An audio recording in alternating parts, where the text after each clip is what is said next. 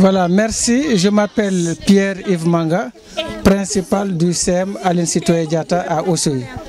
Et vous me demandez mes impressions. Le problème de l'environnement est un problème global surtout pour ce qui concerne euh, les dégâts causés par, euh, les déchets plastiques. Si on regarde la ville d'Oussouy aujourd'hui, euh, on constate que l'environnement est menacé. Or, si l'environnement est menacé, ce sont, c'est tout le bétail qui est menacé, c'est l'être humain lui-même qui est menacé.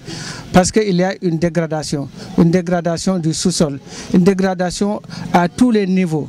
De telle sorte que s'il y a dégradation, il va sans dire que sur le plan de l'économie, il va avoir un problème. Donc le problème de sensibilisation que nous faisons ici ne, s'arrête pas à Oussouy seulement, mais on a des journées mondiales.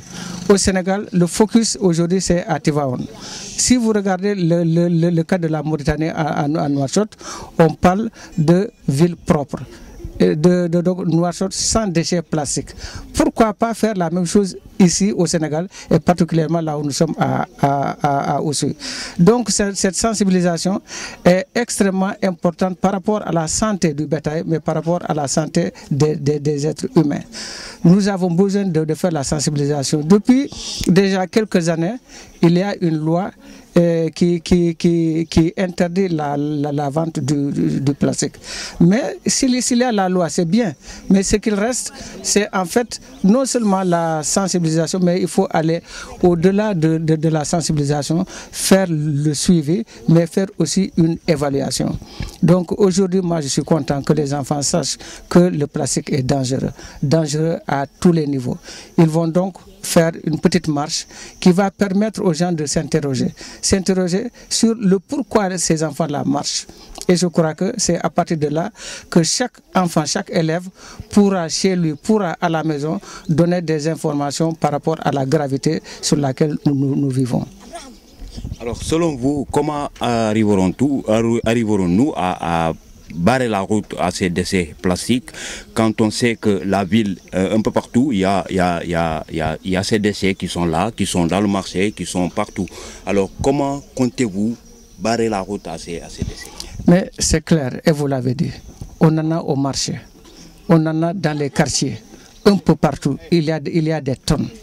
Donc ce qu'il faut faire, la, démarche d'aujourd'hui est bonne. Il s'agit de faire la sensibilisation. Mais aussi, il faut faire la même chose au niveau des maisons pour expliquer euh, à toute la population, à toutes, à toutes les, les familles, les dangers liés à l'utilisation du, du, plastique. Donc, non seulement la sensibilisation aujourd'hui, mais aller dans, la, dans les maisons. Aller dans mais aussi, il faut former des groupes d'élèves, des groupes de jeunes qui vont faire le, le, suivi. Parce que les élèves sont dans toutes les maisons. Ils sont, dans, ils sont partout. Donc, ils sont porteurs de voix. Ce sont ces élèves-là seulement qui pourront nous aider à réussir les, notre mission.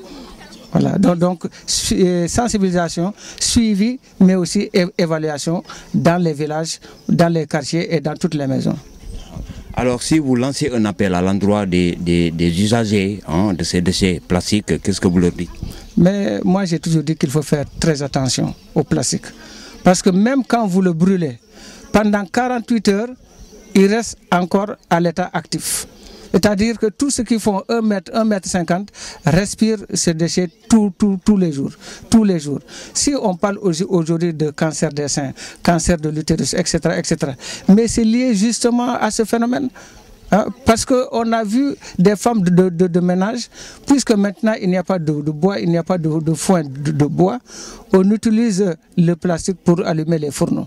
C'est extrêmement grave très grave. Il faudrait que dans chaque ménage, qu'il y ait un groupe qui puisse passer pour leur dire attention. Attention, c'est pour l'avenir de, la jeunesse. Sinon, on, on, nous aurons d'ici 5 ans, 10 ans, une, une jeunesse malade. Une, une, une, jeunesse qui ne pourra rien faire. Or, le, le développement d'un pays dépend de la santé de, sa jeunesse.